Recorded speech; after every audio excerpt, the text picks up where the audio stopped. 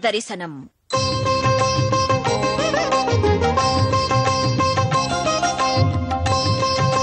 பகுதி நூற்று ஐம்பத்தி இரண்டு.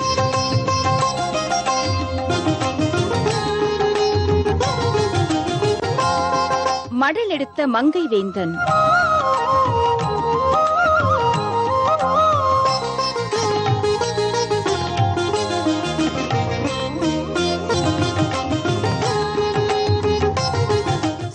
திருமடல்.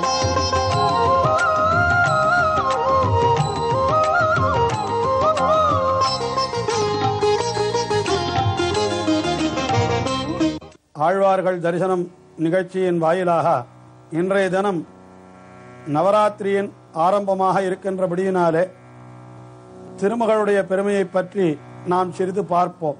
இந்த நவராத்திரி என்பதே ஸ்ரீ மகாலட்சுமிக்கு பெறுகின்ற ஒன்பது நாள் உற்சவமாகத்தான் ஸ்ரீ பாஞ்சராத்திர சம்ஹிதையிலே சொல்லப்பட்டிருக்கிறது.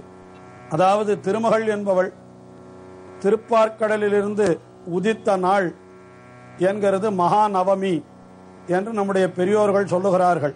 ஆகையினாலே ஒன்பது நாள்கள் அவளுக்கு எல்லா வைணவ திருக்கோவில்களிலும் உற்சவங்கள் மிகவும் விசேஷமாக நடைபெற்று வருகின்றது. அப்படி நடைபெறுகின்ற காலத்திலே பெரும்பாலும் எல்லா திருக்கோவில்களிலும் அந்த தாயாருக்கு புறப்பாடுகள் நடைபெறுகின்ற பொழுது தாயார் திருமுன்பே சிறிய திருமடல் என்கின்ற திவ்ய பிரபந்தம் அது சேவிக்கப்படுகின்றது. இதற்கு என்ன காரணம் என்றால் திருமங்கையாழ்வார் தன்னை பிராட்டியாகவே அதாவது திருமகளாகவே பாவித்துக் கொண்டு அருளி செய்த திவ்ய பிரபந்தம்தான் அந்த சிறிய திருமடல் என்கின்ற திவ்ய பிரபந்தம். அதிலே எம்பெருமான் மீது தனக்கு உள்ள ஆறாத அன்பையெல்லாம் வெளியிட்டு அவனைத்தான் உடனே அடைய வேண்டும் என்கின்ற துடிப்பையும் அந்த சிறிய திருமடல் என்கின்ற ஒரு திவ்ய பிரபந்தத்திலே அந்த நாயகி பாவத்திலே அவர் வெளியிடுகிறார். ஆகையினாலே அந்த நாயகிக்கு நடைபெறுகின்ற உற்சவத்திலே ஆழ்வார் நாயகி பாவத்திலே அருளி செய்த இந்த திவ்ய பிரபந்தமானது எல்லா திருக்கோவில்களிலும் எம்பெருமான் திருமுன்பே ஓதப் பெறுகின்றது. அதிலும் முக்கியமாக இந்த சிறிய திருமடல் என்கின்ற திவ்ய பிரபந்தமானது திருநறையூர் என்கின்ற நாச்சியார் கோவிலிலே எழுந்தருளியிருக்கின்ற எம்பெருமானை விஷயமாக கொண்டது. அதுதான் ரொம்ப முக்கியமான விசேஷம். திருமங்கை ஆழ்வார் தம்மை நாயகியாக பாவித்துக் கொண்டு மடலேறுதல் என்கிற காரியத்தை செய்த பொழுது அது திருநறையூரிலே எழுந்தருளியிருக்கின்ற அந்த எம்பெருமானைத்தான் அவர் தனக்கு நாயகனாக கொண்டு அப்படி அந்த திவ்ய பிரபந்தத்தை அருளி செய்தார்.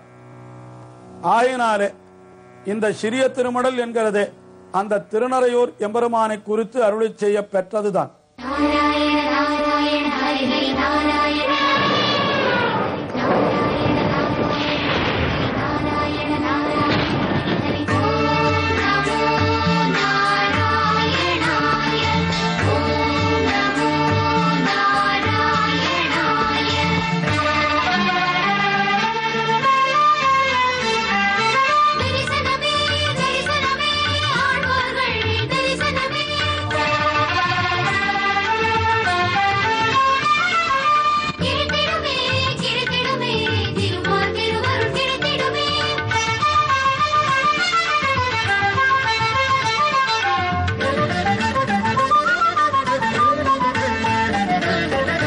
தரிசனம் காண வாருங்கள் ஆழ்வார்கள். தரிசனம் காண வாருங்கள் ஆழ்வார்